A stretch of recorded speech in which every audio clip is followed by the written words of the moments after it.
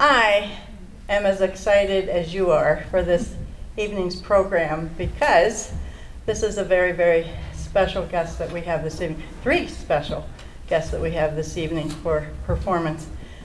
Okay, so Susan and Lewis, you are on. We live in a time and with news feeds that remind us constantly of people who are facing trauma, being uprooted and shaken from home and stability and safety. We gather tonight to hear of an extraordinary life, and Lewis Fisher and I are honored to bring us to focus on Mr. Ullman's story by starting with a bit of music. Jews have lived all over the world as guests in many lands and cultures, and we have spoken vernacular languages that combine, in many cases, snippets of our holy writings with the languages of our neighbors. We have records of Judeo Arabic, Judeo Spanish or Ladino, Judeo Italian, Aramaic, and in Eastern Europe, Yiddish, a language over 1,000 years old that is structured around Middle High German, Biblical Hebrew, and a smattering of Balkan and Romance languages. I'm guessing that Yiddish was not a household language in Mr. Ullman's experience as a young person, but the songs we offer tonight cross beyond the specific and touch deeper experiences of building a life in the face of strife, of looking back and looking forward and of recognizing what binds us together in this very messy human family. In pre World War II Lithuania, the city of Vilnius, called Vilna by the Jews, was known as the Jerusalem of Lithuania.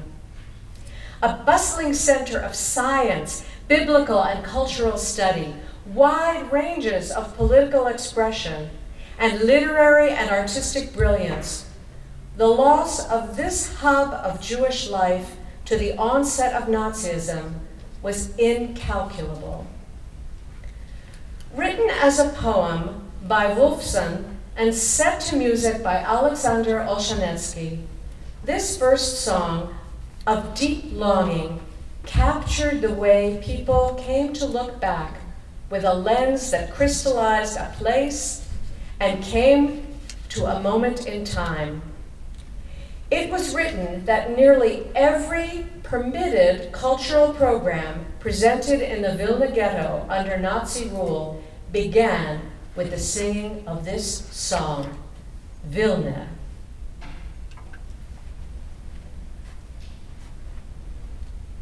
Vilna, Stadt von Geist und Mimes, Wilne jiddischlich vertracht, wo es murmeln stille Twiles,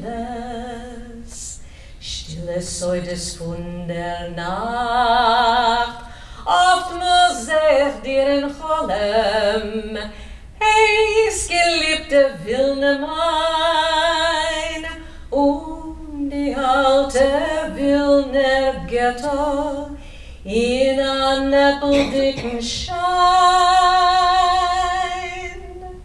Wilde, wilde, unsere Heimstadt, unser Bänkschaft unbegehr. Ach, wie oft es ruft dein Namen von mein neuer reis atrer will ner gesleb will ner teichen will ner wel der barg und tol er neuet neuer er sich noch die zeiten von amor. Gseh dem wel der zakreter in sein Schotten eingehüllt, wo geheimes oben Lehrer unser Wissen Durst gestillt. Wilne hat dem ersten vor dem von der Freiheit von gewebt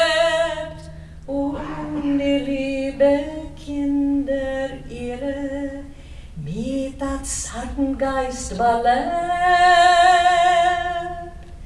Wilde, wilde, unser Heimstott, unser Bekschaft unbegehr.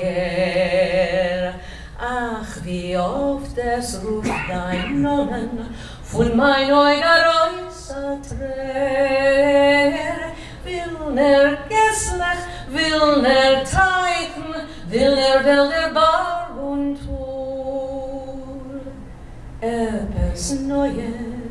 Etwas er sich noch die Zeiten von Amor.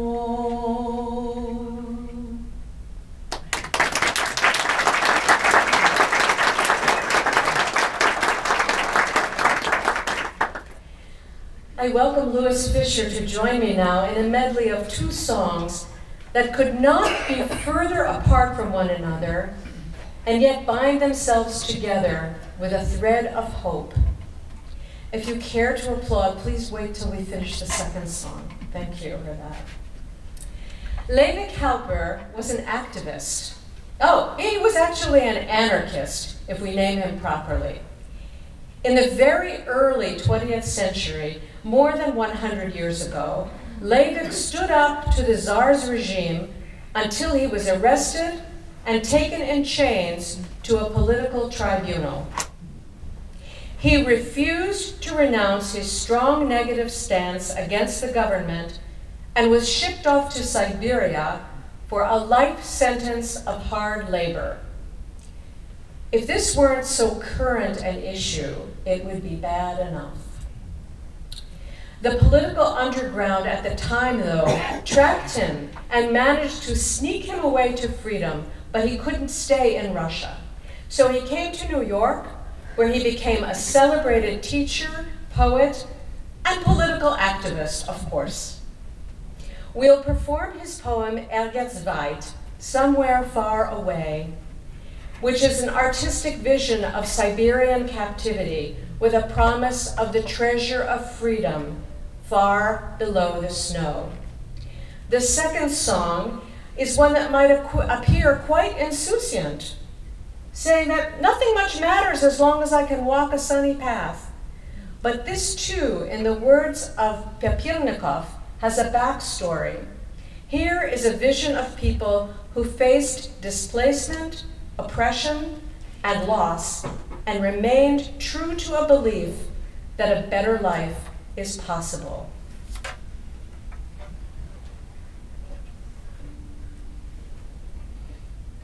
Er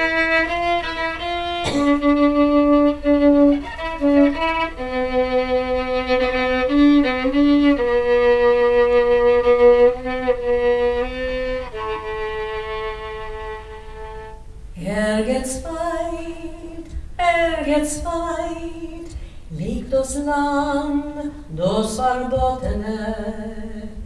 Silbrig Berg, noch von keinem Bachrottene. Er geht's tief, er geht's tief, in der Erde ein Geknottene. Warten uns warten uns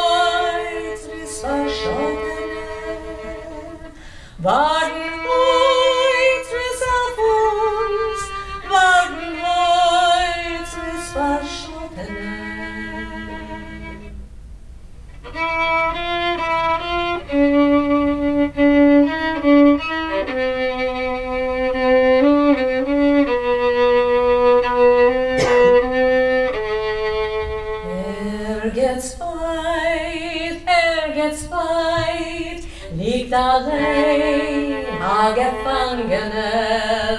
Auf sein Kopf starrt der Schein von der Sonne, die Vergangene. Er geht's wo gut werden, tief in Schnee, auf verschottene, ungefindet kein Weg zu dem Land, dem Verbotenen.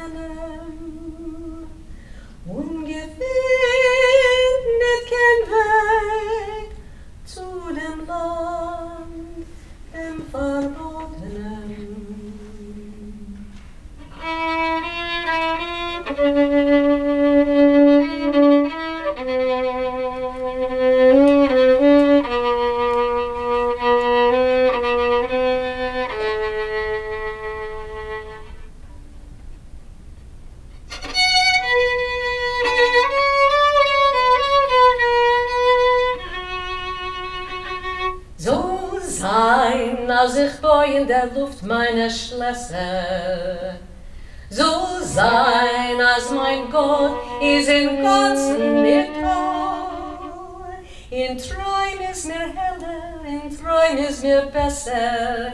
In Cholem der Himmel ist bläuer von blau. In Träum ist mir heller, in Träum ist mir besser.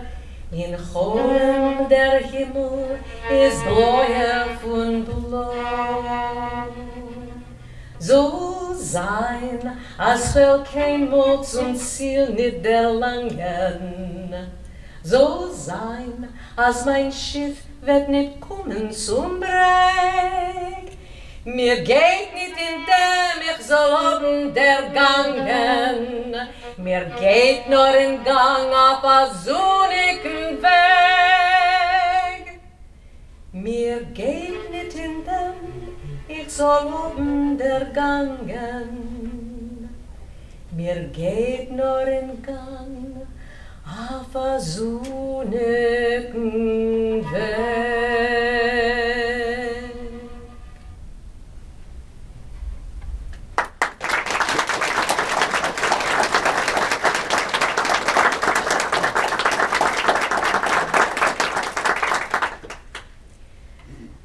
The Soviet Yiddish poet Yosef Kotliar wrote a lyric that was set to music by Henoch Kohn prior to the Second World War.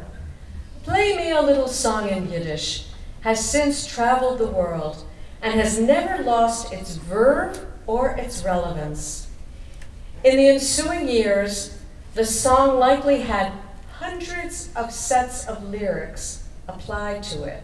Think of this a melody with hundreds of different people making it the diary of their lives by putting their own experiences to that melody. One version we know of is called in kryjówkę. The kryjówka is a Polish word for the dugout shelter that was used by thousands of Jews in hiding in the forests of Russia and Poland throughout the war years, sometimes for years at a time. But no matter the version, the song is one of hope that we will continue to find in our yearning the power of survival and human love. Spiel ein Liedele in Yiddish.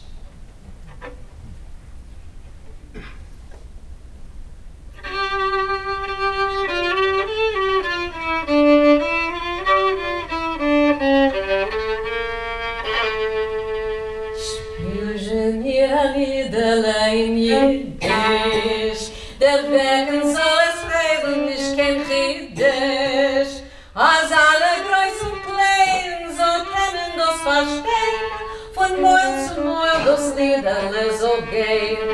Oh, spiel, spiel, kleines Mäuel, spiel, weiß doch, was ich mein und was ich will. Spiel, spiel, spiel ein Liederle von mir,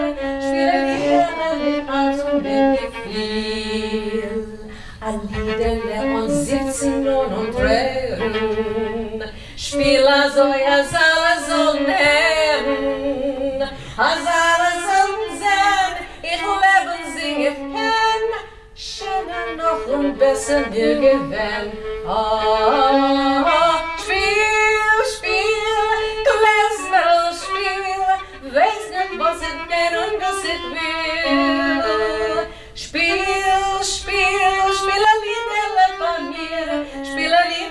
Mit Herz und mit Gefühl. Spiel mir a Liederle von Scholem, so schön sein Scholem nicht kein Cholem.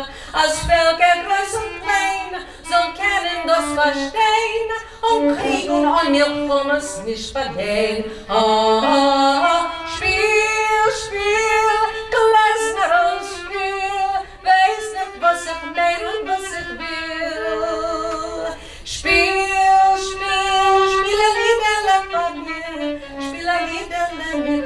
mitgefiel. Lass mir singen's Liederle zusammen, wie gute Freund, wie Kinder von ein Mammen. Mein einziger Verlang soll klingen frei und frank, in allem Gesang, auch mein Gesang. Oh, spiel, spiel, was und was. Spiel, spiel, spiel ein Liederle von mir, spiel ein Liederle mit Herz und mit Gefühl.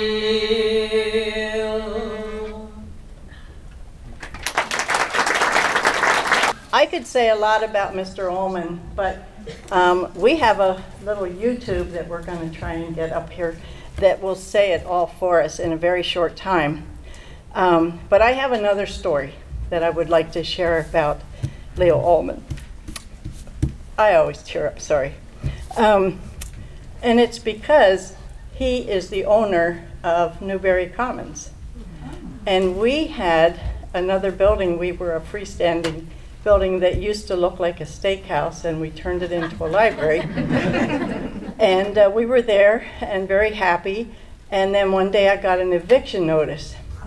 So I didn't like Mr. Ullman at the beginning, and then I found out that he said, I want your library to be in Newberry Commons. So we have another space. And not only did we come up and look at this space, but he renovated this space and turned it into a library. So.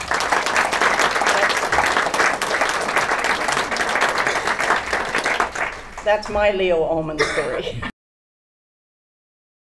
Mr. Ullman, come on up um, and be ready for, uh, as soon as your little video is over, then you're going to start, okay? Oh, he wants it to go. Yeah, never mind. Is one of the most interesting people I have ever met. Can you hear? He's a Harvard grad, a wildly successful entrepreneur, a philanthropist, and an accomplished athlete who has completed 145 triathlons. Mm-hmm. And that's barely scratching the surface of this man's extraordinary life. My life was not defined by the Holocaust. The 83 year old who lives in this beautiful home on the water in Sands Point, Long Island, is among the youngest Holocaust survivors. He wasn't even a year old when the Nazis invaded the Netherlands in May of 1940.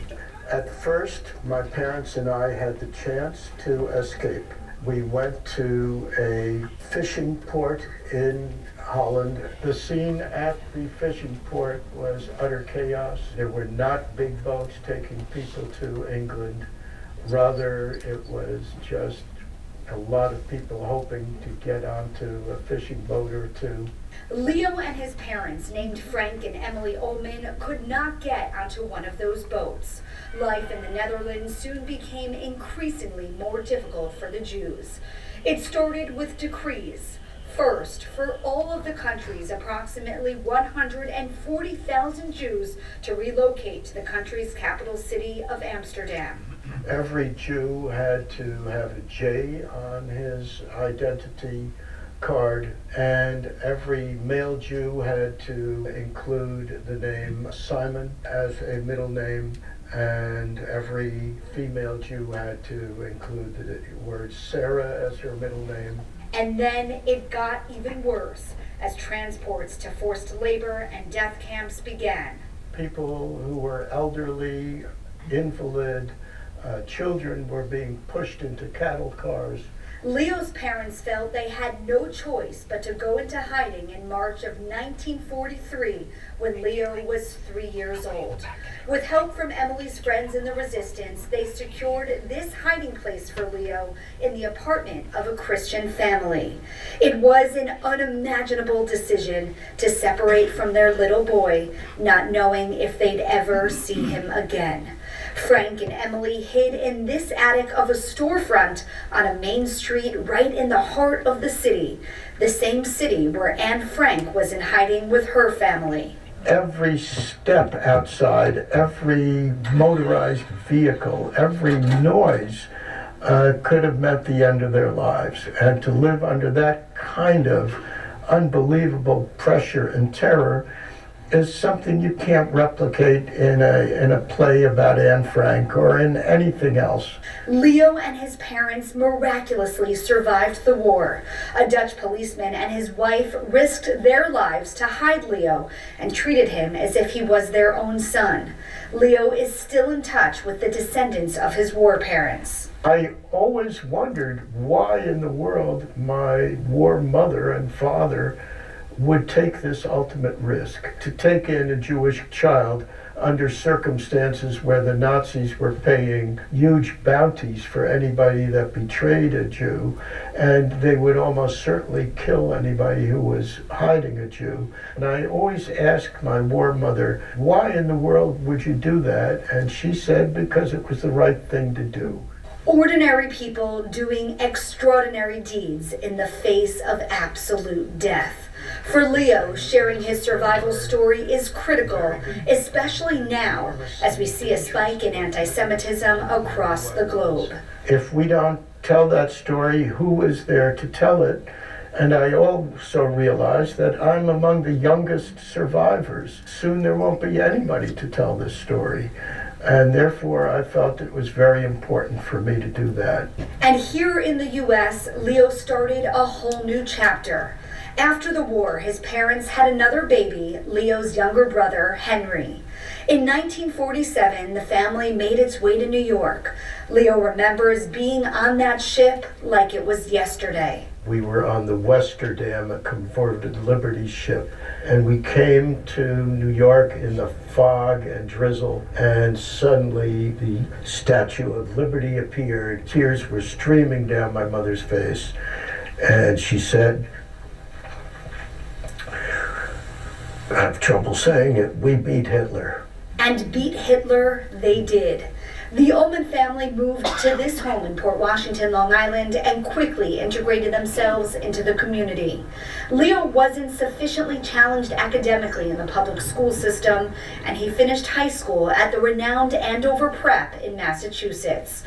He then graduated in three and a half years from Harvard, where he was also the goalie for the Harvard lacrosse team. He even took a term off from Harvard before graduating to join the Marine Corps.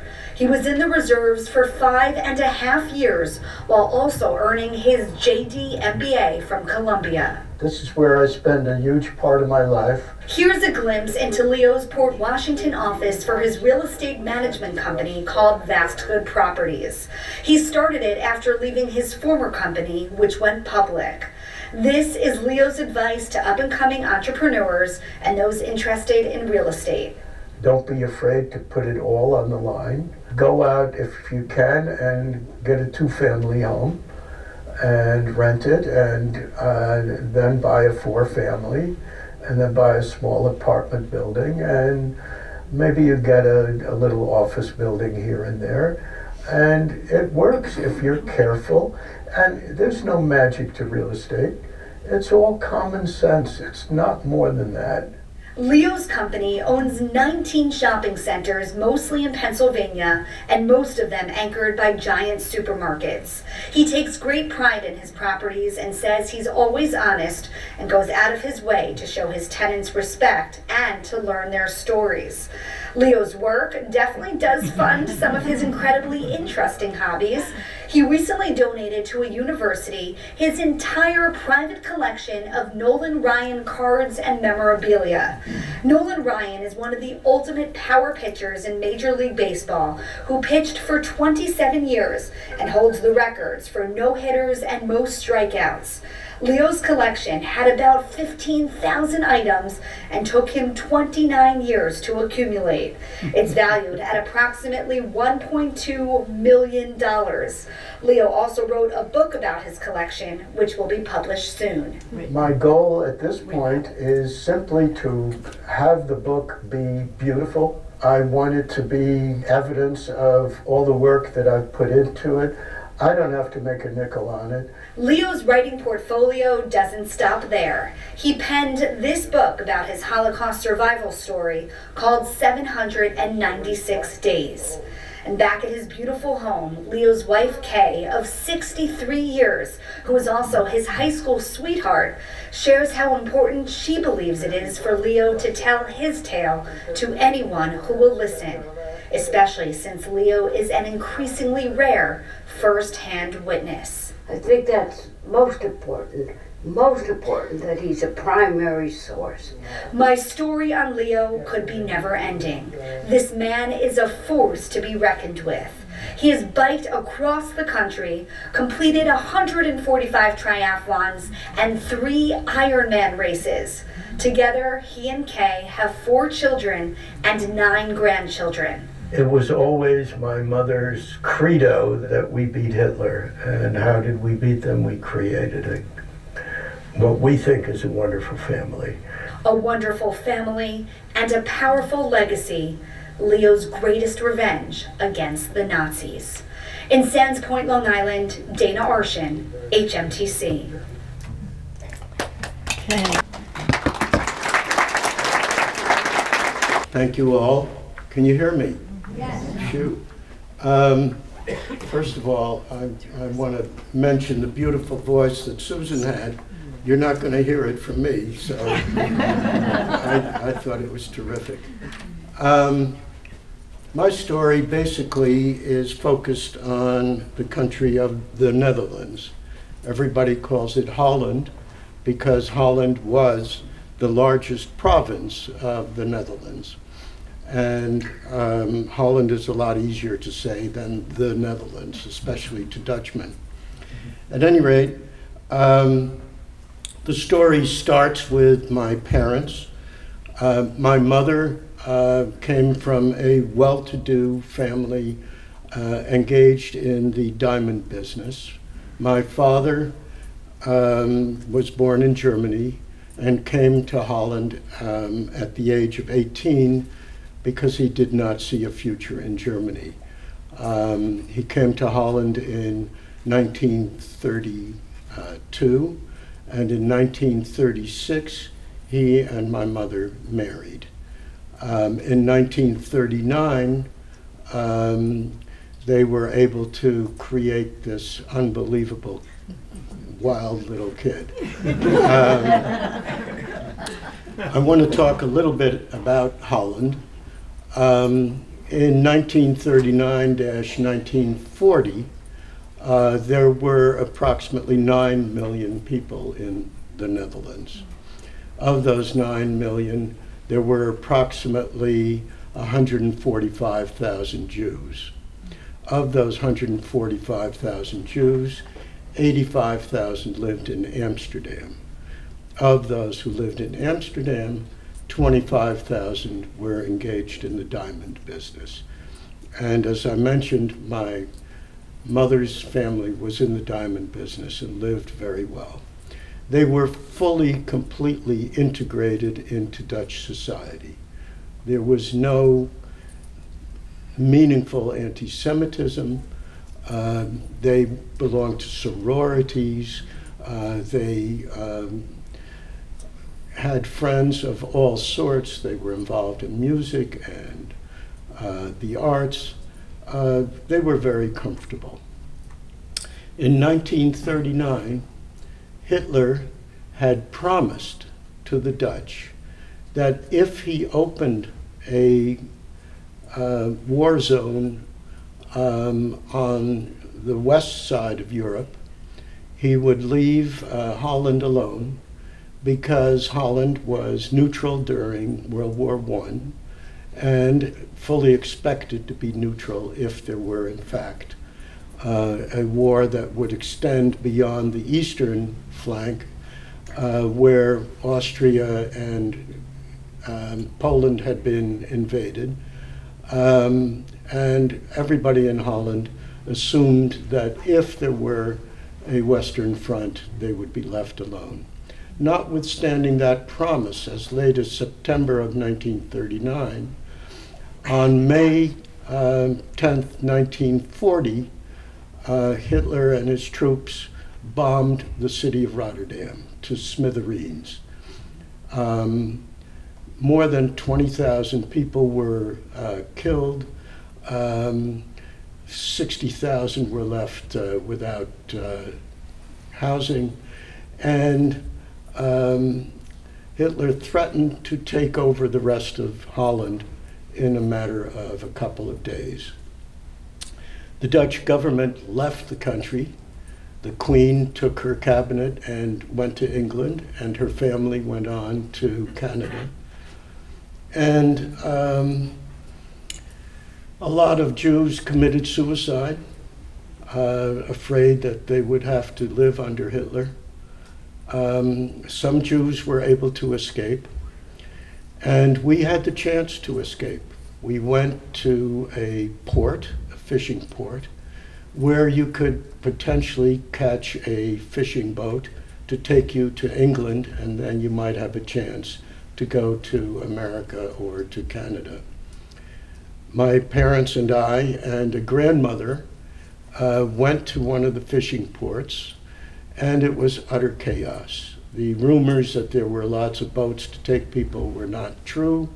Uh, it was just uh, a terrible scene, and my grandmother had an earache, and I had a toothache, or vice versa. And we uh, went back to our apartment thinking that we would um, leave on another day. Within a couple of days, the Nazis closed the borders.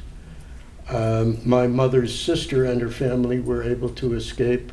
I had a couple of uncles who were able to escape with their families.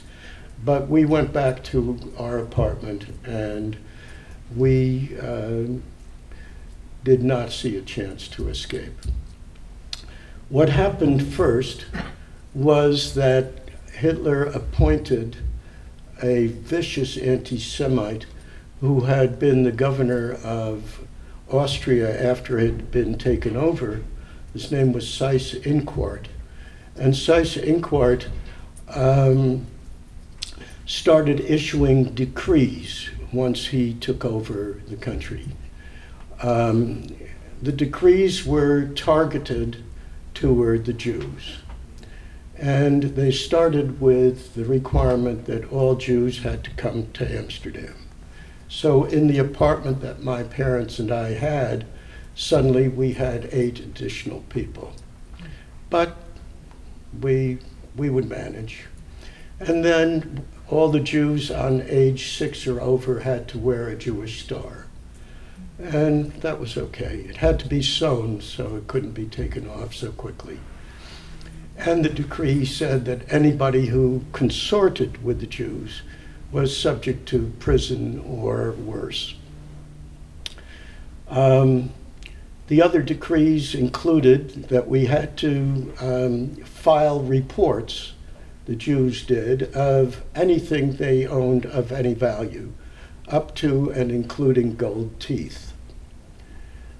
We were then um, subjected to continuous and more severe uh, decrees. Uh, we could not go to public schools. We could not go to public markets. We could not use public parks. We could not have telephones. We could not have any um, vehicles, no bicycles, no cars, no motorcycles. Uh, we could not use public transportation. Um, we could not uh, go to um, public schools. We had to uh, go to special schools if, if we could. Um, but we were alive. Um, but these decrees kept coming, and at a given moment, my father, who had lost his job, all Jews lost their jobs in anything other than Jewish enterprises, um, my father um, received a call up notice uh, in 1942, in the summer of 42. Uh, it was the same time as Margot Frank, Anne's sister, received a call up notice. Um, and basically, the idea was that able bodied people should go to Germany and work in work camps. There were no killing camps at that point. And so my parents, being healthy, thought that it would be okay, that they would somehow survive. And they got ready to go, and my father went to the train station in Amsterdam and saw that people were not healthy that were going to uh, the work camps. Uh, there were kids, there were invalids, there were the elderly. Um, it didn't look right, and they were being pushed into cattle cars that were then locked. And he decided that they would not go, and they made the decision to go into hiding at the same time that my mother's sister and her family were picked up and thrown into jail and ultimately deported toward the work camps. Um, and my father thought that they had to go into hiding. That was a very, very difficult decision. I was at that point uh, three years old.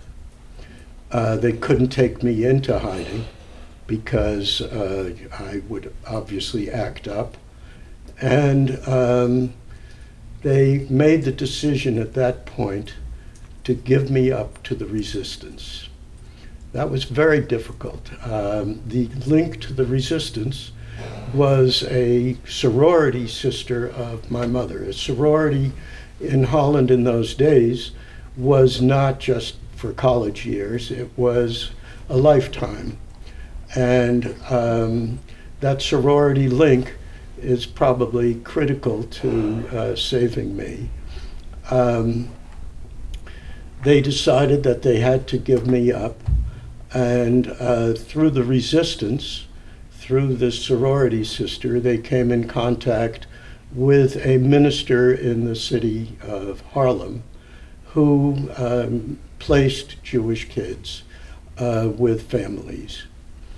Um, in the meantime, my father decided that they had to have money if they were going to go into hiding.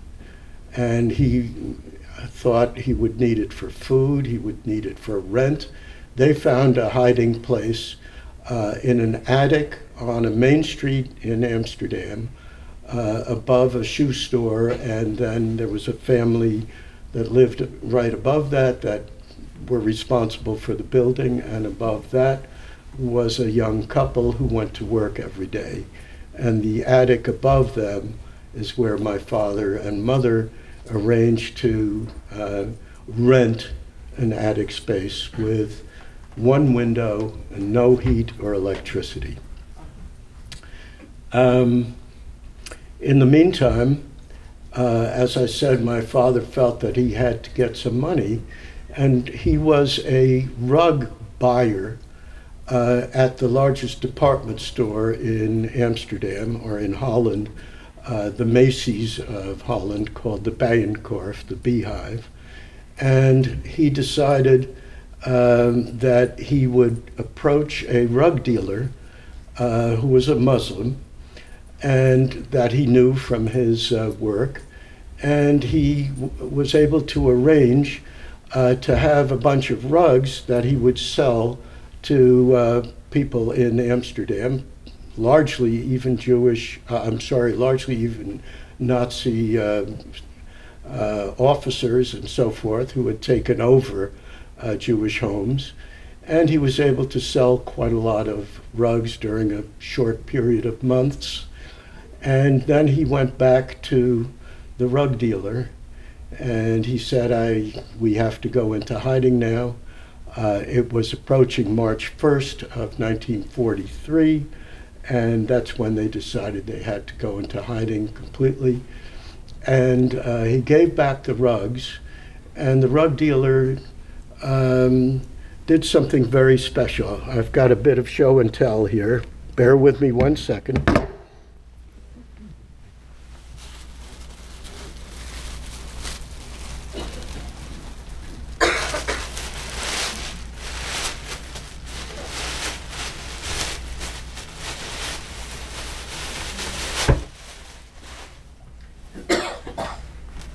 He gave my father a rug, and he said to my father, I know that you worship a different God than, than we, but take this rug with you into hiding. It's a prayer rug, and it's a very good prayer rug because we've had it all of this time. Um, take this into hiding with you, and Allah will save you. And my parents took this rug into hiding with them, and it may be that Allah saved them. It's a good story to tell, especially when um, when I talk to uh, groups that include uh, uh, Muslim um, believers, and um, I recently talked at Wagner College or Wagner University in New York. I shared the podium with the Muslim chaplain of the New York Police Force, and we've become good friends. And at that gathering, a young Muslim young lady came up to me and saw me rolling up this thing, this prayer rug in this manner. And she said, That's not how you do it. And she, and she taught me how to do it and how to fold it, but I don't have time. um, I wound up with a young man who lived outside uh, Amsterdam and his wife. Um, and shortly after I was placed there, uh, their marriage fell apart, probably because of me. Um, and I was then um, sent to a sort of orphanage north of the city of Amsterdam. And the mother and father of this young man decided that they sort of liked me. And he was a retired policeman, and he was able to get a pass to go through the German lines at the station in Amsterdam. And he was able to go to North Amsterdam on his bicycle and pick me up and take me back to their apartment on the west side of Amsterdam. Uh, he did that, and I stayed with this man and his wife and their adopted daughter, who was 14 or 15 years older than I. We shared a room. I teased her mercilessly. I even said at one point, this is, um, it's not a, a good uh, remembrance for me, but I should tell it. I, I said to my war parents that uh, I wish uh, Tilly, that was the uh, sister, the adopted, the adopted daughter. Uh, I wish Tilly was dead, then we'd have more to eat. That's nice, isn't it? Um, you should know that uh, Tilly and I became good friends. Not, it didn't it didn't last, uh, but food was a serious problem, and uh, we didn't. Um, didn't have normal food. I ate a lot of tulip bulbs and sugar beets um, because that's what we ate. I never knew that you shouldn't eat these kind of things. They, I thought they were okay. And also, my war father um, had a girlfriend, um, and she was in. She worked in a bar in uh, in the heart of Amsterdam, and she was German. So she would come to know when there would be a raid, a razzia as we called it, where they would block off uh, a block at a time and go door to door looking for hidden Jews. In the meantime, there were substantial bounties paid for people who discovered hidden Jews, and there were gangs that went around trying to find hidden Jews because it would be remunerated. Um, and that was uh, that was very very scary um, because um, anything could betray anybody, and the slightest noise, anything could could cause a betrayal. But a couple of times that there were raids. Uh, because uh, my war father had this German girlfriend in a bar that was frequented by um, Germans and Nazi soldiers, um, he would come to learn through her when there would be a raid. And then they would ship me out of the city to their son who lived in the suburbs and uh, until the raids were over. Um, that was pretty important. Um, this woman, his, uh, his girlfriend, was uh, known as Aunt Paula. I knew her as Aunt Paula. Um, at any rate, I lived with these people. Uh, we survived the war. And um, on May 5th of 1945, um, the city of Amsterdam was finally liberated. Uh, much of Europe uh, was liberated um, even in toward the end of 1944, and certainly before uh, May of 1945. But what happened is that uh, the American troops and the Canadians uh, went toward Berlin uh, after the battles in eastern Holland and also in Belgium, and went straight toward Berlin and left the north of Holland without food.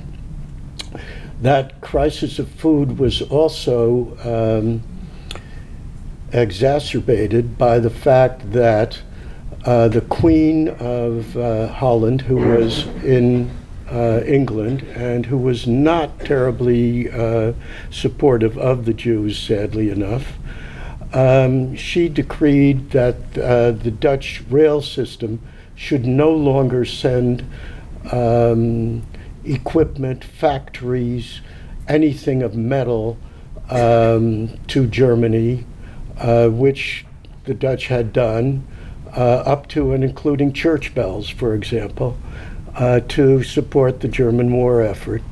Uh, the Queen said that that could no longer be done, and um, as a result of that, uh, the Germans uh, prohibited any further food shipments to Holland. And meanwhile, there was a, a, a very severe winter, and the canals were frozen, and um, some 30,000 uh, people in uh, Holland and largely in Amsterdam uh, starved during the hunger winter of 1944. At any rate, on May 5th, 1945, Amsterdam was liberated by uh, the Canadian Maple Leaf Brigade, and as a result of that, the Dutch have always been very close to Canada and to Canadian troops. And uh, the royal family, other than the Queen herself, wound up in Canada also. So we were liberated by uh, the Canadians, and everybody on that day uh, went outside and uh, were cheering and hugging and screaming, and everybody uh, wore uh, orange, and I had to have an orange hat, and I made my poor war parents and subsequently my real parents stand in line to get me an orange hat. Does anybody know why why orange is so important? Golly, you guys better keep reading, or or watch uh, some uh, international sports events involving the Dutch. Uh, the answer is that the royal house of Holland is the House of Orange Nassau. And orange plays such a role. So if you see Dutch teams in the Olympics or elsewhere, they're always wearing orange. Um, at any rate, um, my war parents knew that if my real parents survived the war, uh, they would come to get me shortly after this uh, May 5th liberation.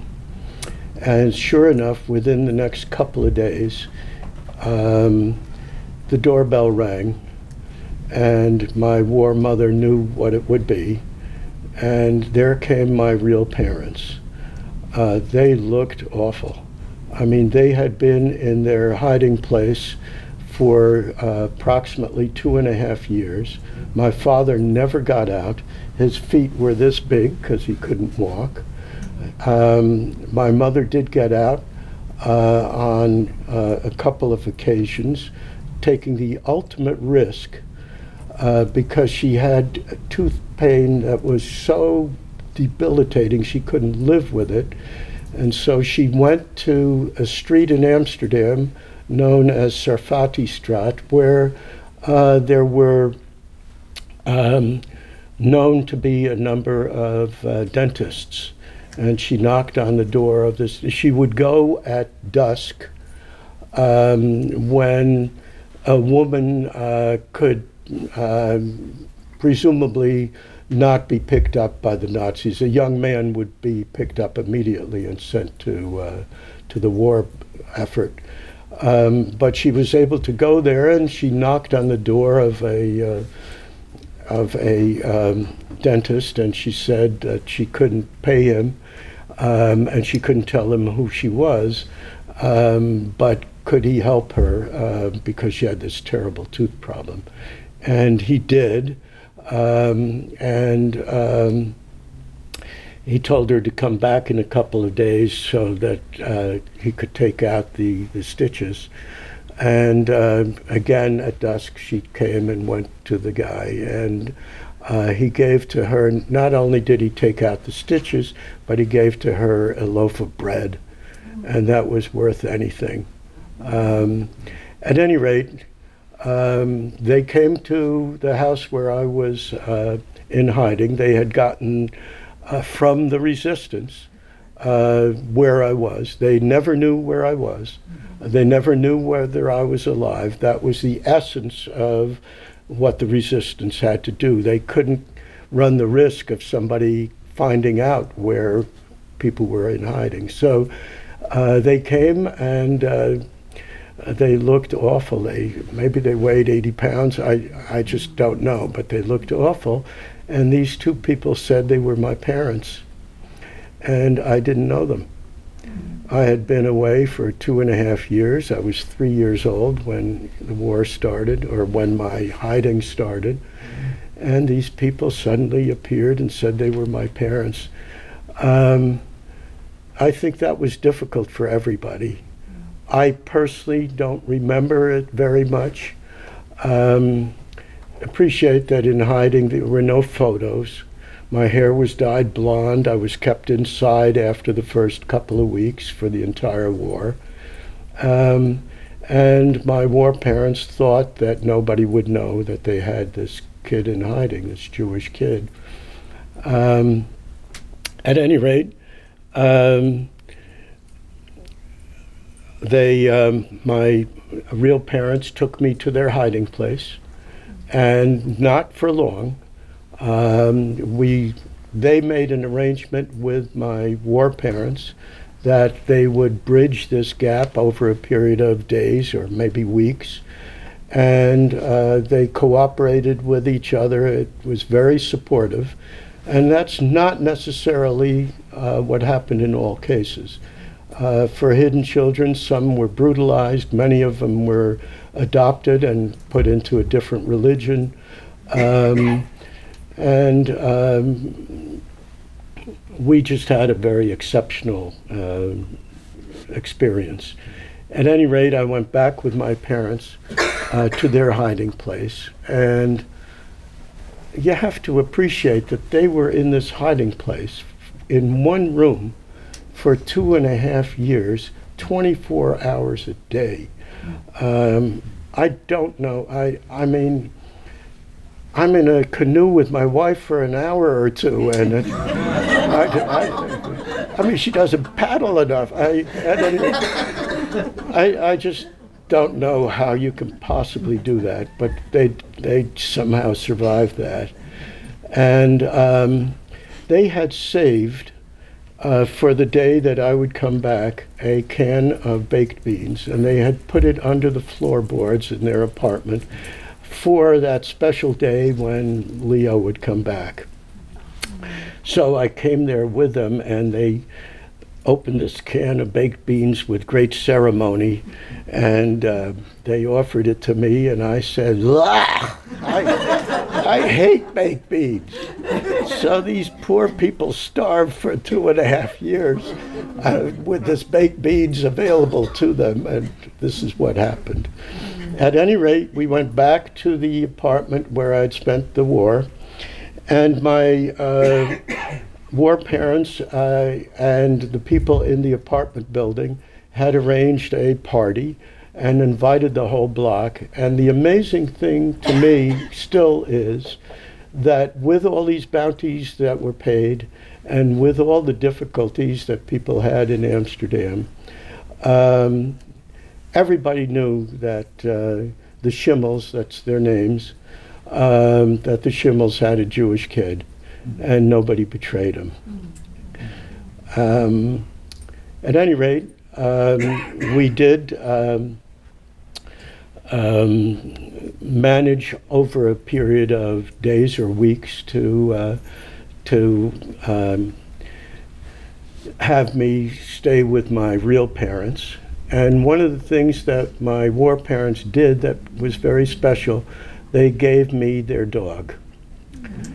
Um, I think that was a bridge that was extremely meaningful, and I didn't realize it until much later how how special that was.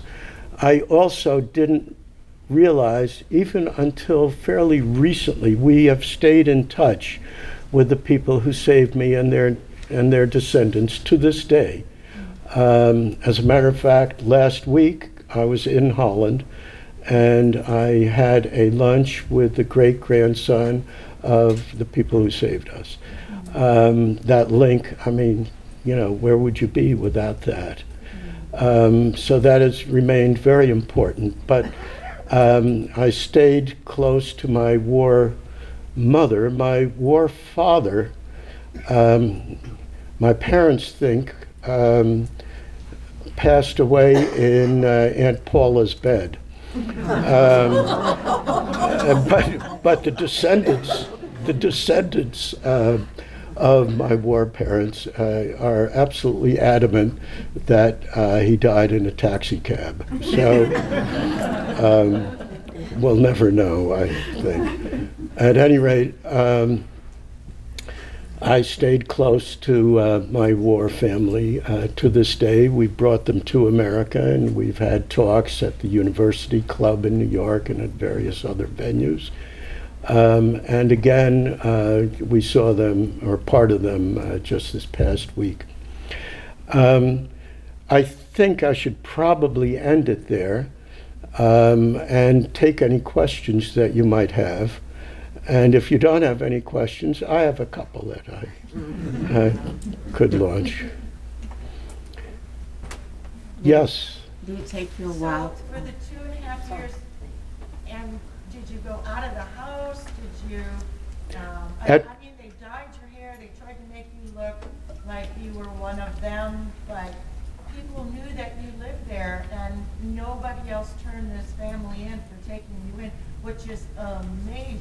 It is amazing. Yeah. It's really amazing. But um, we donated a, um, a room at Stockton University, which you may not know. It's a state university in the southern part of New Jersey, about 12 miles north of uh, Atlantic City, and it has several campuses. And it has the most active um, Holocaust Resource Center of any college that I'm aware of, and I've been to a lot of these colleges, including in this area. Um, they have undergraduate courses in Holocaust studies. Um, they have um, um, a master's degree and a doctorate degree in Holocaust studies. Um, and it's good uh, in New Jersey. New Jersey requires study of the Holocaust, and not everybody does it equally, but in the South Jersey, uh, it's very strong. And um, we have given a room in that university to honor the people who saved us. And the motto in the room, and the motto of a, a film that's been made subsequently, is that there were um, that there were ordinary people uh, doing extraordinary deeds. Um, and ordinary is not a fair description because these weren't ordinary people, but these were not gifted, special kind of people. They were just regular people. Um, I stayed close to my war parents. My war father died in uh, early 50s uh, under circumstances I described. But um, my war mothers uh, lived until uh, the 80s.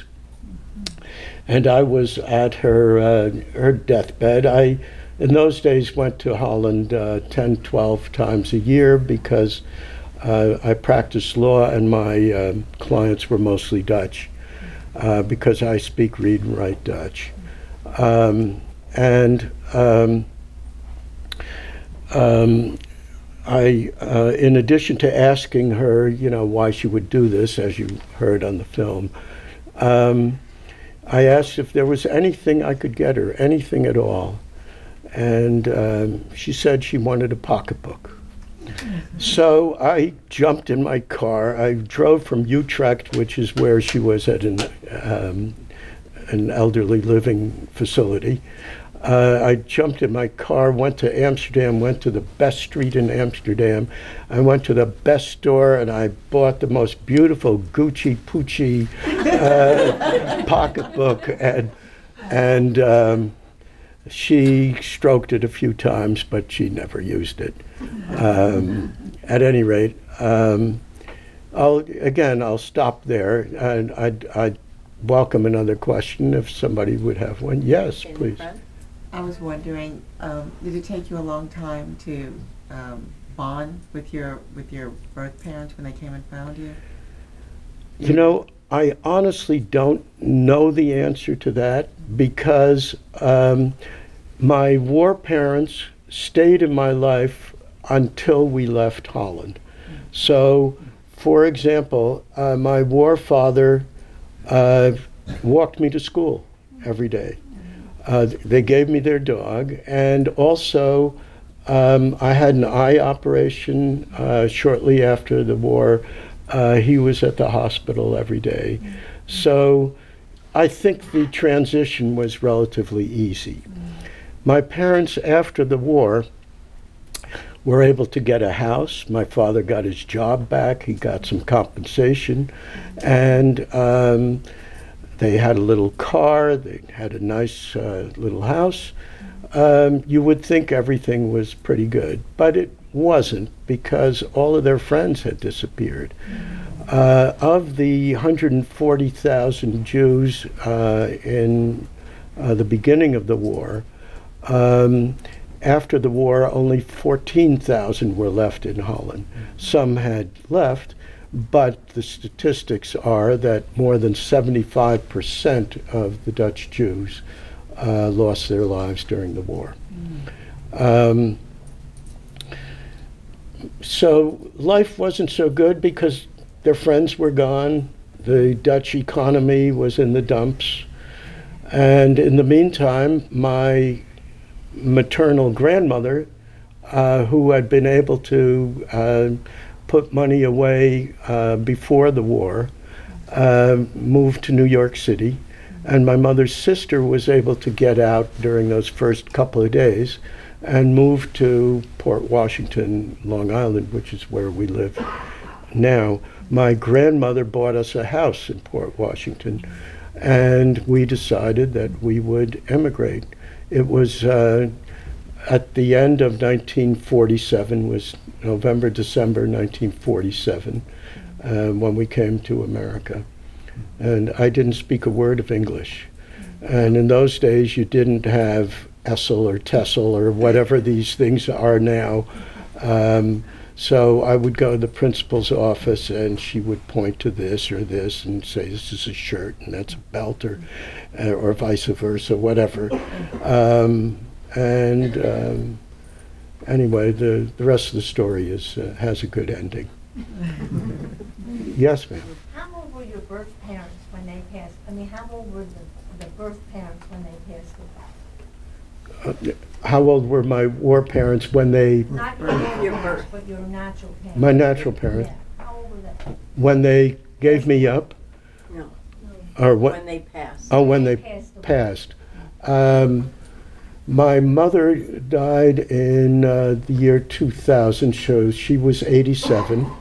My father lived until he was 96. He swore that if my mother died, he would cut his wrists. But he never did. Uh, and he had a girlfriend for years. so- At any rate. Uh, yes, sir. Yes. When you returned to Holland, the buildings that you had hidden in, were they still there? Yes.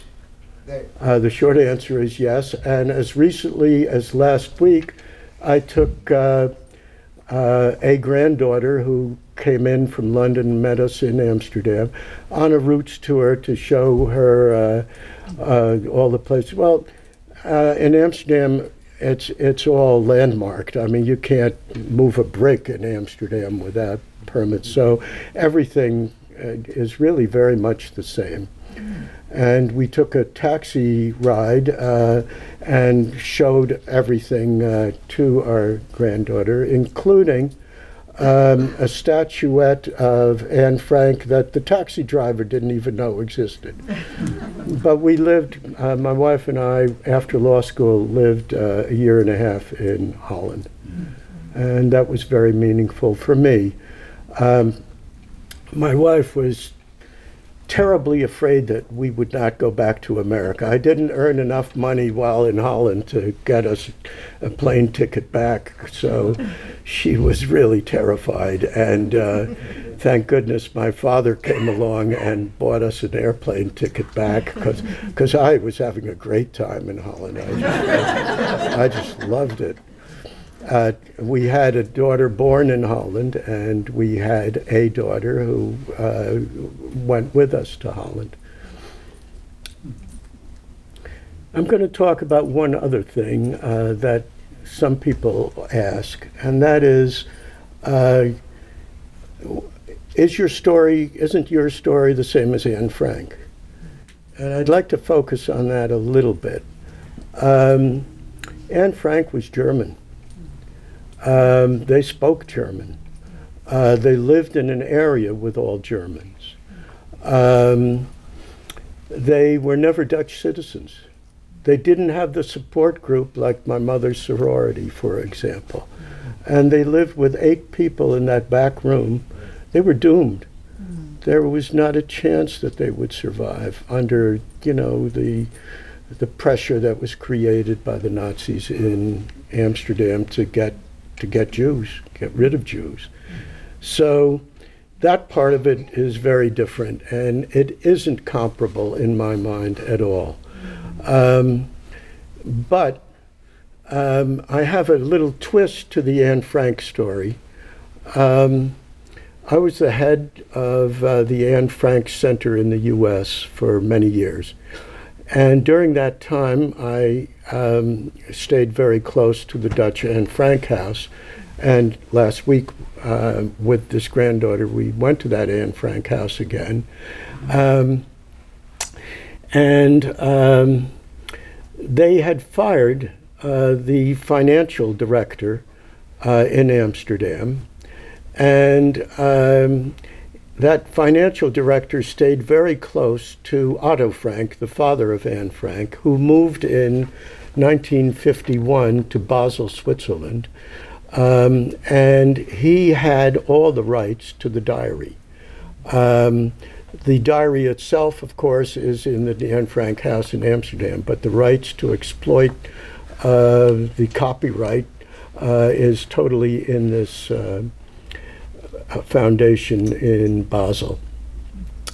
Um, this man who was fired came to me and asked me for a job, and I gave him a job as an international consultant or whatever.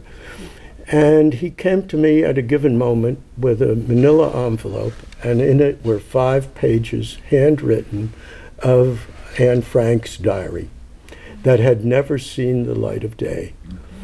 And what happened was that Otto Frank, the father, did not want these pages to be published because they were very, very nasty uh, about her mother and to some extent about the father, but they also talked about her becoming a woman. And Otto Frank did not want those pages uh, published. So um, here comes this manila envelope with these five pages, and this man, Cor Suijk was his name, says to me, Leo, why don't you take care of this?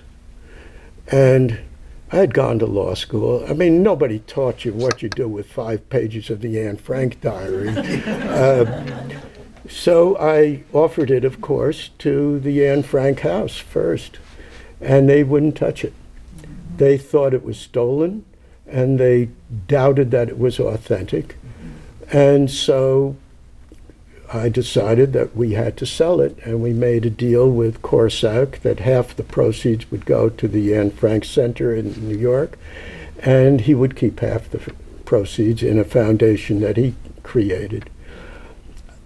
Just before we were about to sell it at auction, and some Russian oligarch would have bought it, um, the Dutch um, Center for um, War uh, Studies, um, Institute for uh, War Documentation, uh, they bought it for $300,000, which at the time was real money. I had gone to the um, Morgan Library to find out if these pages had any value, and of course they do. Um, and um, those five pages were subsequently authenticated, and as a result, since 2003, those five pages are in the diary.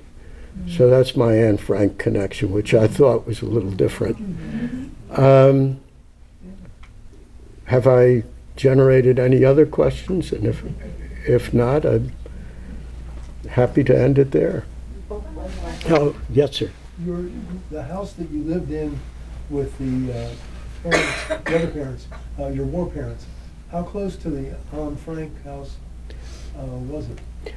Not very close. Uh, the Anne Frank house is very close to the uh, the Dam Square, which is the heart of Amsterdam, where the Queen's Palace is, and the so-called New Church, which is from the 1500s. Um, and uh, the Amstel River basically ends there and goes into the ocean. Um, so um, where I stayed was on the western side of Amsterdam, and uh, Anne Frank, it probably, I don't know, a mile and a half, two miles in a city. And my parents were in hiding on the eastern side of Amsterdam, uh, also not terribly close to uh, to where Anne Frank Anne Frank's uh, Opekta uh, uh, factory building was. Yes, ma'am. if or what advice or what do you want kids to take away from your experiences like if you if you could talk to a classroom of kids Well, I I have been talking to uh, classrooms, uh, and that's the origin of the book that we created. I created with uh, an illustrator. Um, it's targeting kids, and what I, it's you don't want to scare kids, um, and so the focus for me uh, personally, and also the story has to be uh, that there were these good people doing extraordinary deeds. And we were saved by people like that. Um, my um, father's family was saved by a, another policeman uh, who was on active duty in the city of Utrecht. And um, my uh, grandparents on my father's side lived openly uh, with false IDs, and they spoke fluent German because the father was German. Um, and they lived in an apartment with a German uh, young woman, believe it or not, and who pretended that they were uh, their parents. So they lived openly, and um, in April of 1945, just before the war ended in Amsterdam, um, the, there were some German um, policemen who came into the apartment where they were living.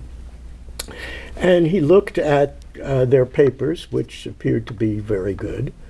Uh, of course, they were forged.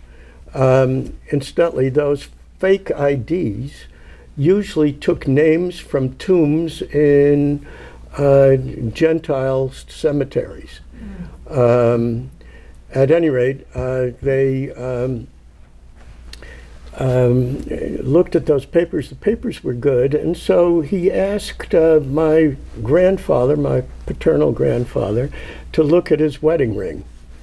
And he took off his wedding ring, and the initials in the wedding ring did not match the fake ID. So in April of 1945, my maternal grandparents were thrown into jail. Uh, they were only there for one month, and you know the the war was over. But um, it's it's a nice ending anyway. Yes, ma'am. How do you respond to people who say that the Holocaust never took place? Well, um, one of the things that's very powerful in this regard, believe it or not, is the um, um, the um, story of uh, the guy who actually uh, put Anne Frank uh, into uh, into uh, the ultimate uh, deportation and so forth. Um, the Simon Wiesenthal Center, which is based in California, uh, is very powerful in this regard. And uh, they have kept um, the story of uh, Simon Wiesenthal, who found 5,000 people who, uh, who, who um, uh, killed Jews or, or betrayed Jews or whatever. And one of them he found, and he said it's the best one he found, and that person never went to jail, but he found the person who uh, jailed Anne Frank. And he felt that that was the proof that people needed that this really happened, that this guy uh, was there. And I, I don't think that. Um, that those uh, deniers are believable. There is so much proof that uh, it all happened, and it's it's just never been a problem for me. Um, what's been a problem for me is what's happening now, and I cannot I cannot understand it or explain it, um, and it's horrible beyond belief, um, and I'm always afraid of getting questions about it because I don't have any answers. I, I don't think anybody does. But um, maybe Tom Friedman, if anybody. But uh, other than that, I, I don't have answers. Any other questions? I, I think I've lulled you all to sleep, and I, I appreciate your being here, and thank you very much.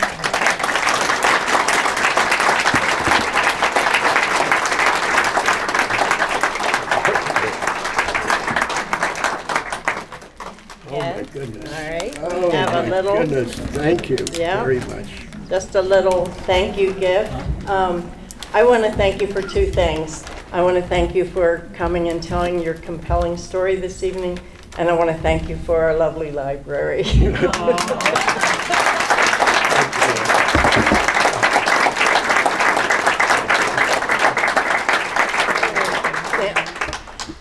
Okay, we have refreshments in the community room. Um, The book sales are up at the circulation desk, but the book signing, oh, I'm sorry, will be, will- if I don't hurt him, will be in the, uh, will be in the community room. Um, The thank you gifts are from Brown's Orchard and Farm Market, which I love to go to.